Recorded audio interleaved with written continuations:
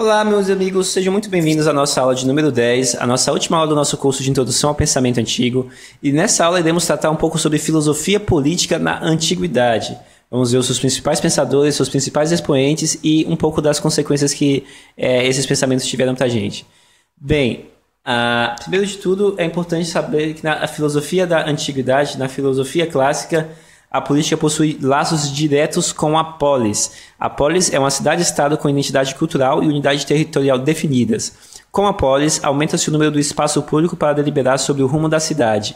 A linguagem dessa forma possui importância ímpar para o desenvolvimento da política, porque através da palavra os cidadãos poderiam se expressar claramente, aumentando as chances de ser entendido e de entender também.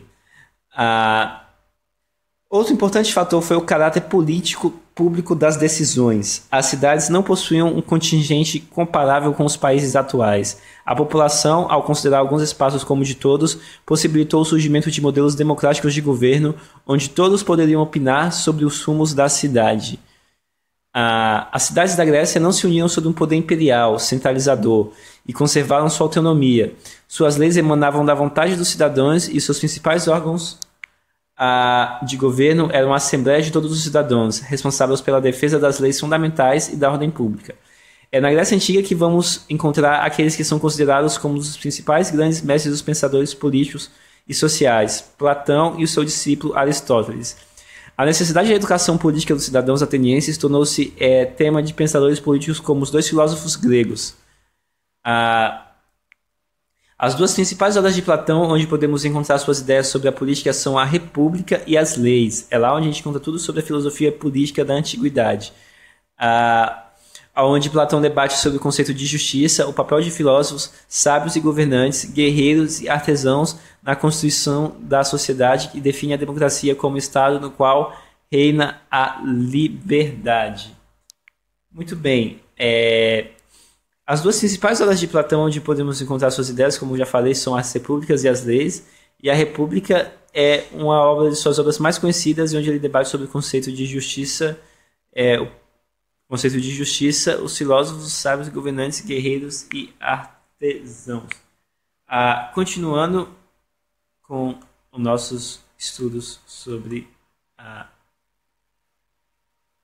filosofia antiga, Uh, Aristóteles estuda o aspecto de seus aprendizados concretos e reais, enquanto realmente eu acho que a gente pulou. Ah, não, está correto, a gente está aqui no slide. Aristóteles estuda o Estado sobre os seus aspectos concretos e reais, enquanto isto, Platão se preocupa em dizer que o Estado deveria ser e não ser, realmente ser como no mundo real. Ou seja, Platão foi buscar no mundo das essências e ideias o conceito de ideal de Estado. Platão tinha um descrédito pela democracia. É, para ele, os homens que são vítimas do conhecimento imperfeito devem ser dirigidos por homens que se distinguem pelo saber supremo, conceituando o governo como arte, chefiando apenas aquele que conhece a ciência política. Aristóteles faz crítica ao autoritarismo platônico, considerando-o desumano. Entretanto, sua democracia não chega a ser uma democracia de fato, pois para ele só se considera cidadão apto a Exercer cidadania homens livres, não escravos, não, mulheres e não estrangeiros. Desta forma, o povo que participa das questões políticas era uma minoria. Ah, em seu livro Política, Aristóteles tentou reaproximar o exercício da política ao exercício da ética, na busca de restaurar a moral política grega, conturpada pela sofística, ainda em voga naquele momento. Para Aristóteles, o grande objetivo da vida do homem era ser feliz. Para isso, deveria desenvolver suas aptidões. A natureza, tal qual era, não permitia que um homem isolado se desenvolvesse plenamente. Por essa razão, os homens se uniam para a realização de um bem maior e mais importante, a constituição e a manutenção da polis. Ah, segundo Aristóteles, a tarefa da política é eleger a melhor forma de governo, tanto em sentido absoluto quanto em relação a cada realidade social. O homem é por natureza um animal político que se define por sua vida em sociedade. Sendo parte da natureza, o corpo político é entendido como o exercício da família e da aldeia. Platão procura idealizar um Estado perfeito e voltado para o bem de todos. O Estado é concebido como um organismo em que todas as partes devem conviver naturalmente em harmonia, e a finalidade do Estado é a felicidade dos homens. O bom governo, portanto, é aquele que constitui de tal modo que pode tornar o cidadão virtuoso e que permite que tenha uma vida feliz. para finalizar, a República de Platão e a Política de Aristóteles são das maiores obras da filosofia política da antiguidade, para procurar idealizar um Estado perfeito e voltado para o bem de todos. Ah, segundo esses filósofos, o Estado é concebido como um organismo em que todas as partes devem conviver naturalmente em harmonia. A finalidade do Estado é a felicidade dos homens. O bom governo, portanto, é aquele que se constitui de tal modo que possa tornar o cidadão virtuoso e permitir que tenha uma vida feliz e próspera.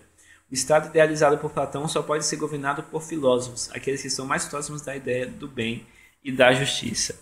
Bem, amigos, essa foi a nossa última aula do curso de Introdução à Filosofia Antiga e espero que vocês tenham gostado. Ah, como eu sempre aconselho, busquem é, conhecimento por conta própria, pesquisem, além dessas aulas, pesquisem por conta própria conhecimento sobre filosofia antiga, filosofia medieval, moderna e assim por diante, porque é sempre bom a gente buscar conhecimento. Conhecimento nunca é demais.